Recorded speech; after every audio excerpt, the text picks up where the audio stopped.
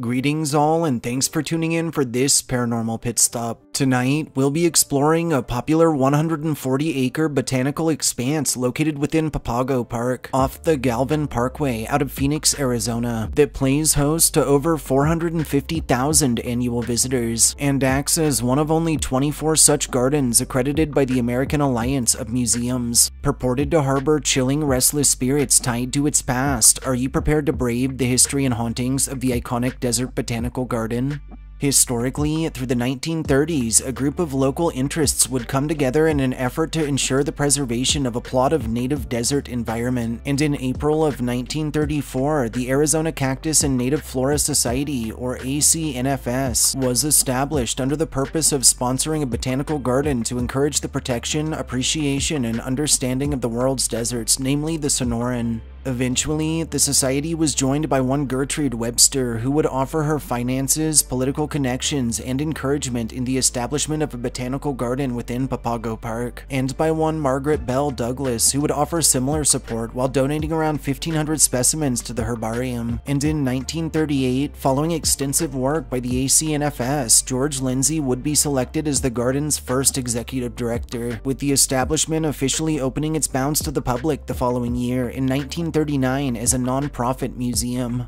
In 1947, sadly, Gertrude Webster would pass away, willing her estate to be utilized in support of the garden she so loved. In 1961, a visitor center and gift shop were added to the site, and in 1970, a library was constructed to house the institution's collection of rare books and prints. Most recently, in 2002, a $17 million renovation and expansion project would be performed across Desert Botanical Grounds, which would welcome the addition of a new entryway, admissions area, gift shop, and more. The Desert Botanical Garden remains open into the present, offering over 50,000 species for viewing, including 485 rare or endangered ones, alongside a range of displays, events, classes, and more. While it's unknown who or what exactly these prestigious old gardens are haunted by, Desert Botanical has long been shrouded in stories of encounters with the paranormal, with both staff and visitors to its bounds reporting extreme cold spots and spontaneous gusts of chilled wind, ghostly music heard in the air, and the constant feelings of being watched or of being followed by someone or something unseen. Some tell the Desert House, which formerly housed multiple garden directors and now hosts office space, is haunted by the spirits of those tied to its bounds in lives since past. And within, many have told of the sounds of someone unseen shuffling about, of instances where objects are observed moving around inexplicably, and even of the sensation of being brushed or pushed up against by what feels like an invisible person.